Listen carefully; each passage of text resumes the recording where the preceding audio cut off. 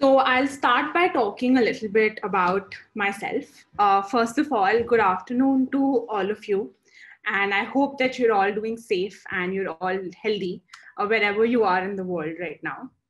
Uh, my name is Gunjan and I work as a data scientist at Gojek.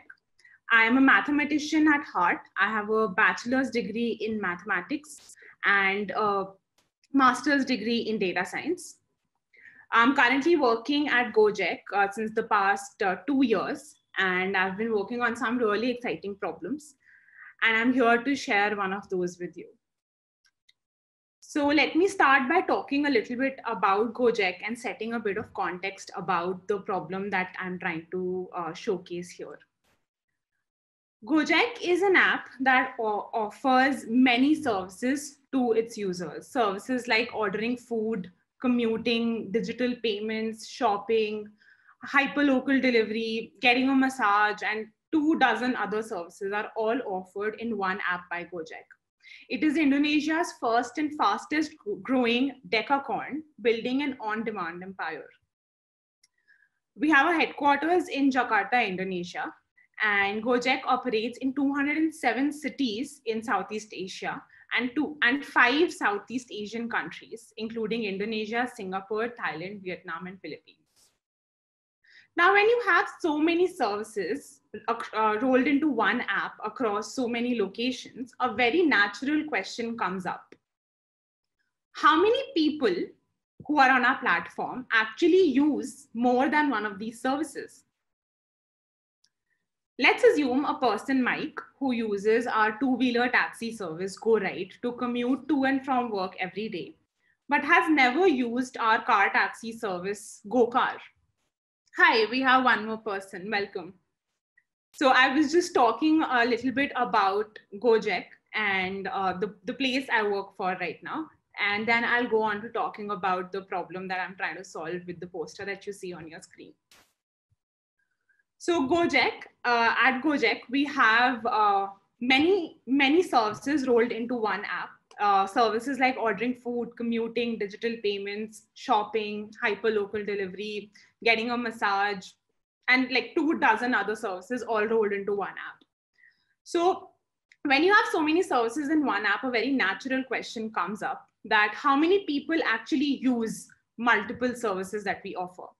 So let's assume a person Mike, who uses our two wheeler taxi service, GoRide, to commute to and from work every day, but has never used our car taxi service, GoCar.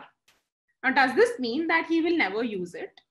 Or let's take the case of Indra, who religiously orders food from our Go from our food delivery service, GoFood, and uses our digital payments platform, GoPay, to pay for them, but has never taken a ride using GoRide or GoCar.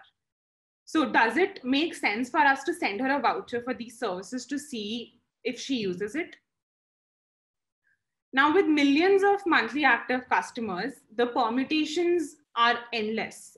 But the key point is that for us as a business, it makes sense if more and more customers use more and more services that we offer. But at the same time, we don't want to spam our customers with vouchers or services that are not relevant to them imagine constantly getting notifications of uh, of a voucher from a particular app which you have no interest in whatsoever. It can surely get very annoying. So we decided to build an algorithm that helps us figure out which customer is most likely to use which service based on their transaction history. This mean this meant generating a targeted campaign for our customers by targeted campaign, I mean only sending a voucher or a cashback to a customer if they are highly probable to actually use it. This way, we get higher conversion rate at much lower cost, and we don't end up spamming our customers. Um, any questions till now? You can just feel free to stop me at any point if you have any questions.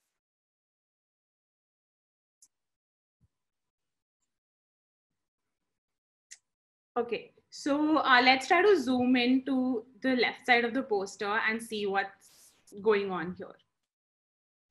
So here you can see um, a Venn diagram that explains how a targeting camp targeted campaign is designed.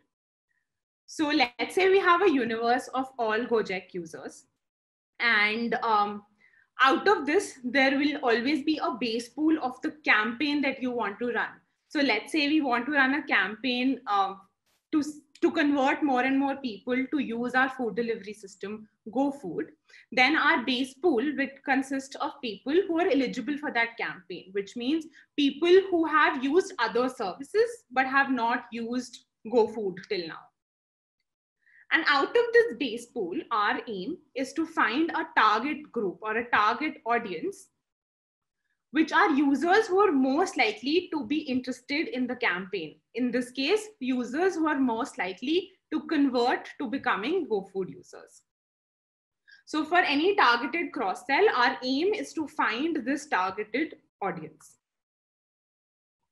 So this is the basic problem statement that we're trying to solve. We're trying to find a targeted group of people. Uh, we're, we're trying to find a small group of people to target for a particular campaign.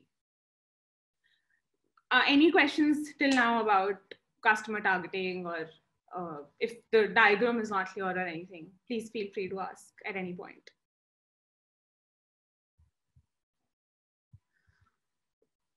All right, then I'll move forward. So now to solve this problem, our first hunch was to uh, build a classification model. Now, uh, a little bit about what a classification model is. A classification model is an algorithm that is designed to divide your data set into two or more classes if such classes exist. So in our case, we had two very clear classes that existed in our data set. So for our base pool, what we're trying to do is classify our users into two classes, customers who will cross sell and customers who will not cross sell. And we can only look at the customers who will cross sell and send the voucher to those people, avoiding a, a huge bunch of people uh, from that voucher. Now, classification model, uh, when we built it, it was working great. We were getting like an average uplift for around 5x on natural conversion rates on one of our key services. But at the same time, classification model had some of its pitfalls. So to actually build a classification algorithm for a targeted campaign, we needed to train the model individually for each campaign because the base pool itself for each campaign would change. If I want to run a campaign to target new GoFood users, then my base pool would consist of people who have used other services except GoFood. Whereas if I want to run a campaign to target GoCar, new GoCar users, then my base pool would be people who have used other services except GoCar. So the base pool is itself changing for each model, for each um, cross-sell campaign. Now, when that happens, you, you literally need to rebuild your classification model for each and every campaign that you want to run. So clearly this was not a scalable approach to go about it. So we needed to sort of rethink the way we were approaching this problem and think of it as making a matchmaking, like, like literally a match between users and customers such that we have an algorithm that is generic enough to actually, um, that, that is generic enough to just so, such that we don't need to uh, have a lot of effort to go from one target one targeted cross sell model to another that's when we thought of using recommendation systems to solve this problem now a recommendation system is an algorithm that uses users past behavior or users history to recommend items that to, to users that they're most likely to purchase in today's world, recommendation systems are literally all around us. You see relevant ads, relevant products on Amazon, relevant shows and movies on Netflix. All of these have recommendation systems sitting behind them. We are using recommendation systems based on collaborative filtering as a matchmaking mechanism between users and products. Since we have many different products, we can actually use these products as different items in a recommendation system place that we want to recommend to our users. I'm going to take a pause here for two minutes to see if there are any more questions.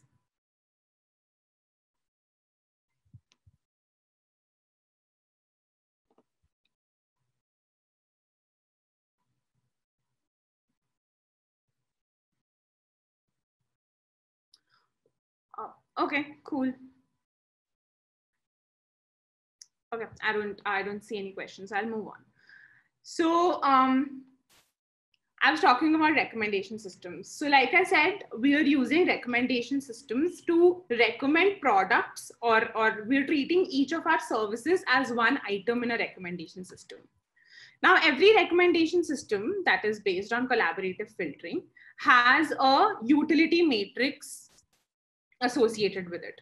A utility matrix is a matrix that captures interactions between users and items. By interactions, I mean uh, the, these could be um, the rating that a user has given to an item, or this could be the purchase history of that user and that item. This could be the search history. This could be how many times a user has clicked an item, etc. This is what our utility matrix look like. So each column of the matrix is one service. This is like a sample of our utility matrix, of course. Each column of the utility matrix is one service and each row is a customer.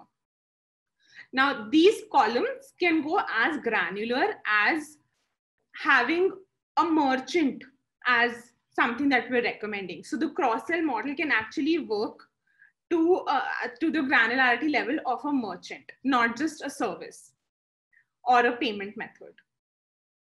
So the matrix is filled like this. We have, um, we were looking at the transaction history of a user for that particular pro product. So let's say user one has used GoFood in the last one month three times. So the cell between user one and GoFood will be filled with three. Similarly, user two has used GoFood two times and the cell between these two will be filled with two. However, user three has not used GoFood in the past one month. So this cell will be empty. Now imagine this concept being applied across millions of customers and uh, more than 20, 30 products. So we would have a pretty huge utility matrix at, at our hands. And the idea is that this matrix is going to be very, very sparse. By sparse, I mean most of the values of this matrix will be missing. Because as I said, we have a lot of users, but not everybody uses all the services. So wherever a person is not using a service, that particular cell will be empty. So the problem eventually boils down to finding these missing values in the matrix. Now, if we are able to find these missing values in this matrix, we will be able to figure out whether this particular user will be interested in this particular product in the future or not. So let's say we have a value for user one against GoCar. Let's say we're able to predict what this value is. If this value is very, very small, we might not want to recommend GoCar to this user. However, if the predicted value is very high, we might want to recommend GoCar to this user and include that person in the campaign. Now, for the purposes of this poster, I'm gonna uh, ask you to consider rec like recommendation systems as a black box. I'm not going to go into too much detail about how the algorithm works, etc. But just to give you an intuitive idea, we can try to understand the image here. So as you can see, user one and user three both have very similar behaviors. Both of them have used Go, Go Ride and Go Pay Offline. And both of them have used Go Pay Offline once. And user one has used Go Ride thrice and user three has used Go Ride four times. Now this is pretty similar behavior in the past one month. However, user one seemed to also have used Go Food thrice. Now what we can do is recommend GoFood to user three as well, because we have seen that in the past user one and user three have actually behaved similarly. So if there is a service that user one is using, we can actually use that information to recommend it to user three. So this is the basic idea behind how recommendation systems work. They, they work on finding similarities between users and similarities between products based on the past behavior. Uh, any questions till now?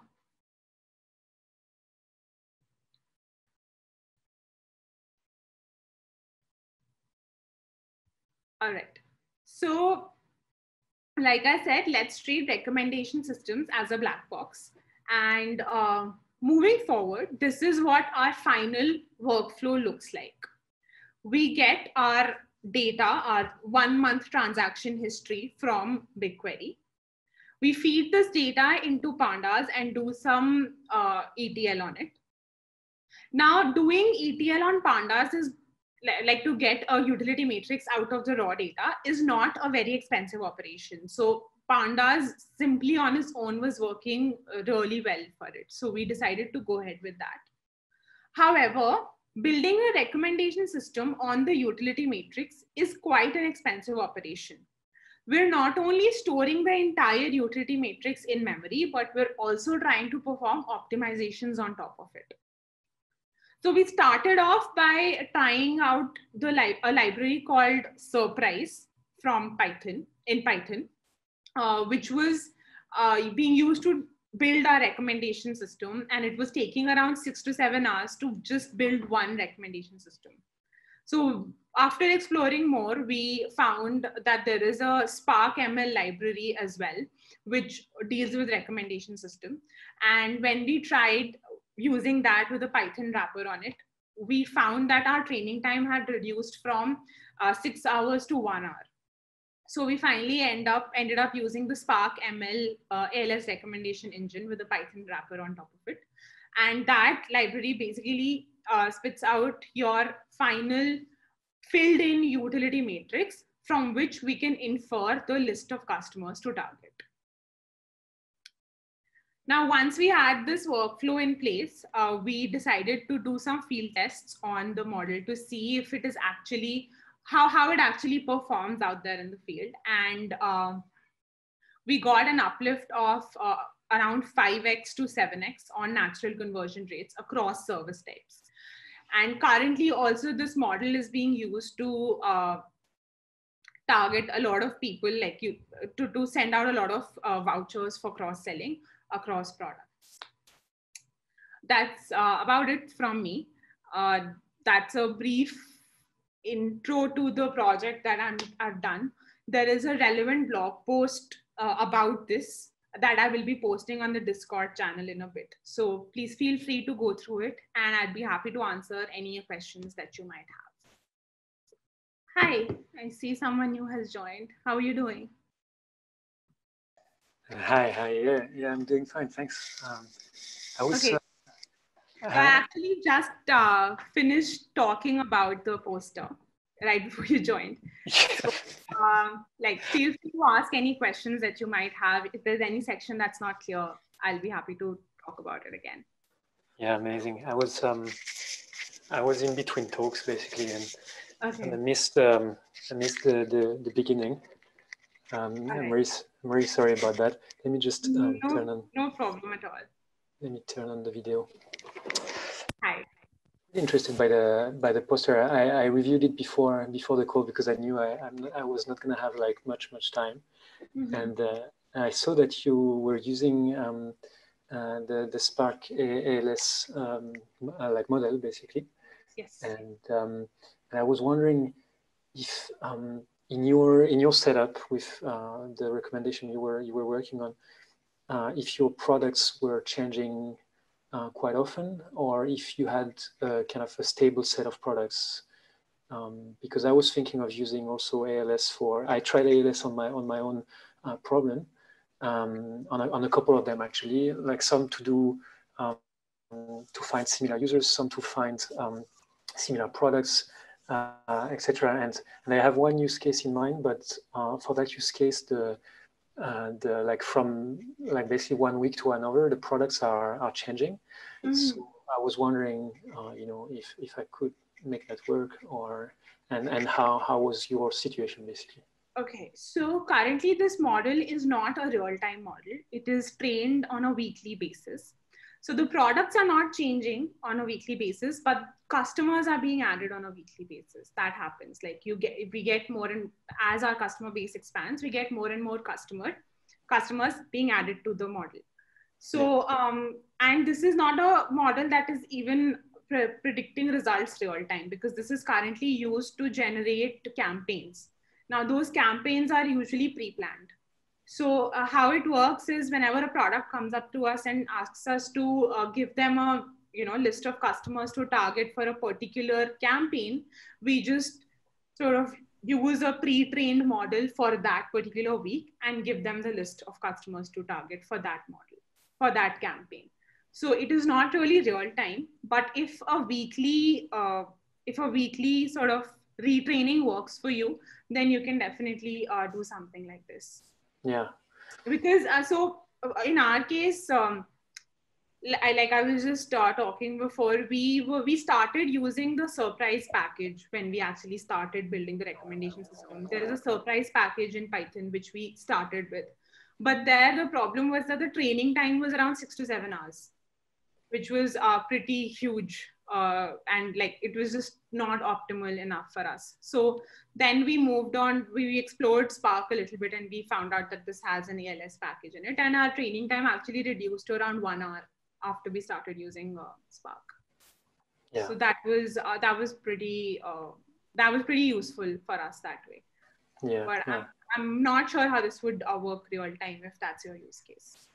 Yeah, I mean, I've used I've used ALS um, like successfully for a use case similar to yours, where I have um, like my users where like basically I want to match make users and, and entities that they mm-hmm. follow basically. So mm-hmm. I have user profiles with all the entities that they follow, and that's pretty that's pretty stable. And thanks to ALS, I can I can use that. I forgot the name of the in the API, but like you can you can get like the um, uh, the like the, the the relationships or like the I forgot the name, but you can basically it's like with this market basket model, right? So you can get you can basically get the the next entities um, that the user is yeah yeah yeah could so follow. Like, so that, that probability score for the users who yeah. would choose the next entity. Yeah, I get that. Yeah. yeah. So that that was that was like working, and I was quite happy with that. But mm-hmm. now I'm I'm looking at the other one, which is more like um, kind of like e-commerce um, recommendation okay. use mm-hmm. case mm-hmm. where you have these products that changes. And for that one, I'm, I'm a bit, uh, yeah, I'm a bit stuck, but I will, uh, I will, I will kind of keep, keep on, keep on thinking about this. I was, I was thinking of maybe in order to be able to use ALS, um, kind of find like the similarities between the products or something like this. Um, and then do the recommendations based on that or something like that. But I'm not sure how will how will that will work. But but yeah.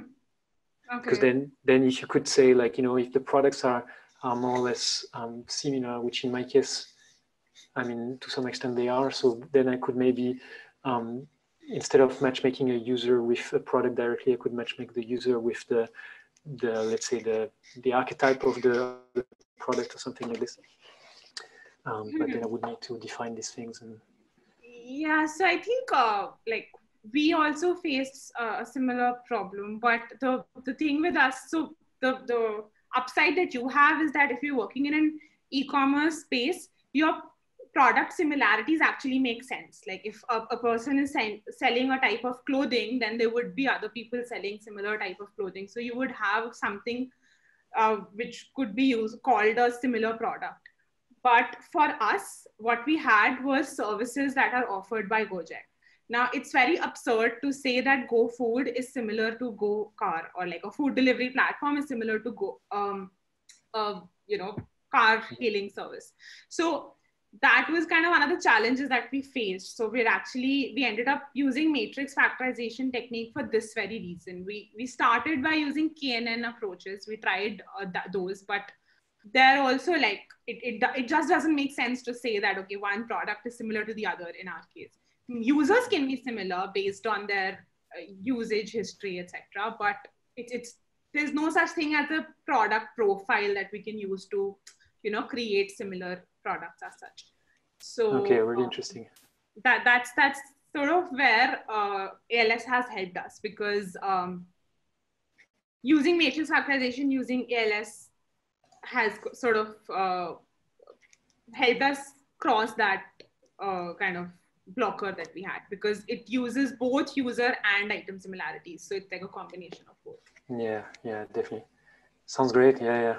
Thanks, thanks. Actually, actually, I had on my list to check um, to check more like the product similarity um, techniques for that thing. Like, and for the KNN, I saw the this Annoy library that I have not used yet. Um, okay. So I'm, I might, I'm just going to make a note. Like actually, what you said is uh, makes sense. Like the ALS is more for the when you can when you can train on that relationship between the two and less mm-hmm. on the yeah.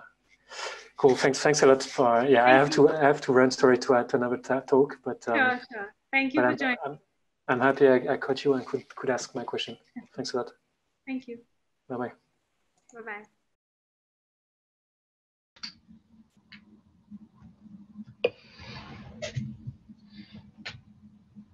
Hello. Hi. Can I ask a question? Hey. Yes. Please go ahead.